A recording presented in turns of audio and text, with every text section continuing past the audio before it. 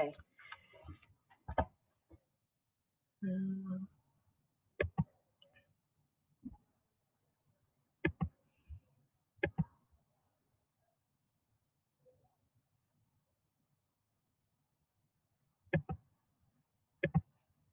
All right. So um, we're just going to have a day today to talk about novels in general um, and to uh, uh, just uh, see how we can approach them a little bit differently from approaching poems or short stories or plays. We'll talk about other kinds of genres later in the, the semester. Okay, so how should you approach a novel?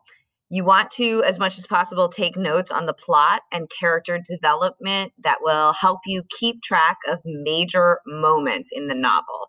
So read closely, get the most out of every reading, but go back to examine major moments where you have an interpretation concerning a literary device that the author is using. Remember, we're always looking to build thesis statements for future essays, plot, plus device equals meaning. Okay. Okay, novels in the first pages. So we just finished the very first parts of Dubliners. The beginnings of all novels will try to lure the reader into the story. The author needs to establish the rules of this world of the novel in those opening pages. So in Dubliners, you know, we learn that each story is going to contain an epiphany, each story is missing something, something that is unsaid that's important to understanding Joyce's point. We learn that we are within the geographical setting of Dublin, but that we're going to be exposed to a whole range of humanity. And, and, we also are learning, you know, this is a realist novel. It's not a work of fantasy or science fiction. It's not a Victorian novel. We see you know, kind of from those first few pages, the type of book we are reading, and we're meant to accept the rules of that fiction.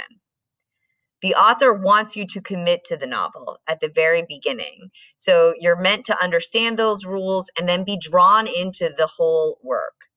Pay attention to those opening lines. What tone does the author strike? What predictions can you make? We see at the beginning of this book that we are uh, dealing with children and then young adults where is Joyce going from here? What sorts of things will he have to say about the older people of Dublin? Okay, the setting. So a novel is made up of uh, is a made up world in a made up place. Even though Dublin is a real place that exists in our world, Joyce is not setting his story in real Dublin. This is the Dublin of his imagination. It's filtered through his mind and his reflection. So it's important that we remember that. We're not meant to take everything realistically, even when the novel is a realist novel. Okay. Our job is to accept those rules, you know, whether we are in um, a, a Tolkien novel of fantasy or a novel that takes place in outer space or a novel like this one, our job is to accept those rules and suspend disbelief. Who is in charge? Okay, so different kinds of narrators. Third person omniscient. This would be the godlike narrator that's everywhere and all at once. This was a very popular form of storytelling in the Victorian period when novels were told with either an outside narrator who would give you the truth in all forms, um, or at least uh, someone that you could trust. So, Victorian period uh, narrators did not deviate into unrelatable narrators or things like that. Third person omniscient. Third person limited, that is when we the narrator identifies with only one character, goes where he goes, sees what he sees, and records his thoughts. Okay, so uh, think of a dill pickle. You know, we had a third person, an outside voice, but we only really knew the character of Vera in that story. Stream of consciousness.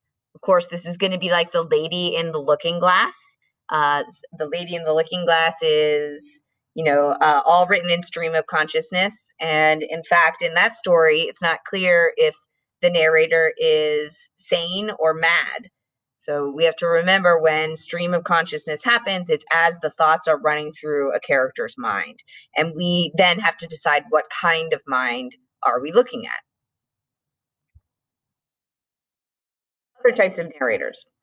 All right, first person central. This is a character that tells his own story. Often this means he is unreliable. So the character in Araby is telling his own story, but it's clear it's an adult voice. He speaks as an adult. He doesn't sound like a little child, for one thing. Uh, also, he can't remember Mangan's sister's name. Uh, I'm sure he at one point knew her name, but he has forgotten. So there's other clues. And because it's his memory, we have to assume that he's prejudicial in some way or jaded in some way. We have to interpret the character based on, you know, the story that we're given. All right, first person secondary. This is if the story is told by the sidekick telling his friend's story. Okay, and uh, Sherlock Holmes, for example, would be a good a good uh, version of this. Is Watson uh, is the chronicler of Sherlock's uh, stories. So first person secondary in the story, but not the main character. All right, and then we also have to consider that sometimes we're going to have anti-heroes. Now, during the Victorian period, again, just before the modernist era, we had narrators who were central characters and they were unequivocally, I believe, the good guy. The protagonist meant good. The modernist writers began experimenting with the anti hero. And this is a character who was the main character, does terrible things, but nonetheless engages with the reader in his or her own story. So, uh, you know, we are uh, always looking for uh, characters who we might in some way relate to, even though they do terrible things. The anti hero is very common today. Um, it, but that was a modernist phenomenon, something that didn't happen before this time period. All right, chapters. Why are they there? they are useful to readers in that they let you know when some significant unit of time or action has passed. They are little mini structures within the novel that support the larger structure of the novel. So in Dubliners, it's particularly interesting because each chapter is, of course, a little story. Your question should be how does it support the larger structure of the novel on, you know, on the whole? All right, and of course, Victorian novels often ended with cliffhangers because Victorian novels were published usually in serial form in cheap newspapers. So they wanted you to buy the next chapter. Modern novels do not always do that. Uh, we, we don't normally read novels in that way anymore. So sometimes there are cliffhangers, sometimes there aren't. Some novels today, of course, have no chapters, in which case uh, time or action might occur differently um, or, or be reflected differently. All right, descriptions. When you have long descriptions of setting or place or character, you want to look for the places where authors describe things like a reporter, almost giving you like a beat by beat uh, rundown of important pieces of information necessary so that you understand what's coming. Okay. You want to look for similes and metaphors. So similes used to uh, in descriptions to help set the mood. Okay, a sentence like overhead, the factory smoke was like a dark monster that crawled across the sky. So your interpretation of that metaphor is going to help you understand the author's meaning behind the text. So the smoke described as a monster is a incredibly treacherous, ominous, almost terrifying description that probably would hook into something larger, uh, a larger point that the author is making. Okay. Sentences that show speculation on the part of the viewer. These could be interpretations given to you by the author, um, and they're meant to connect you to those larger puzzle pieces. Some evil overlord was wringing his hands and laughing as his henchmen blocked the sun and our hope with one fell swoop. Okay, so you are meant to find those key phrases, key sentences that allow you to accurately interpret character or setting or something else significant going on.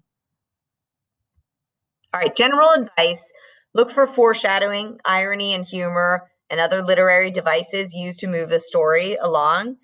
Joyce particularly makes use of dark humor. He makes use of language and colloquialisms, all important things for you to look up and make note of as you go. Take notes and answer your study guide, but you can't critically think about literature until you comprehend the basic details of the story. So make sure you understand the plot and what's happening in the story before you try to move on and try to dig deeper and interpret it.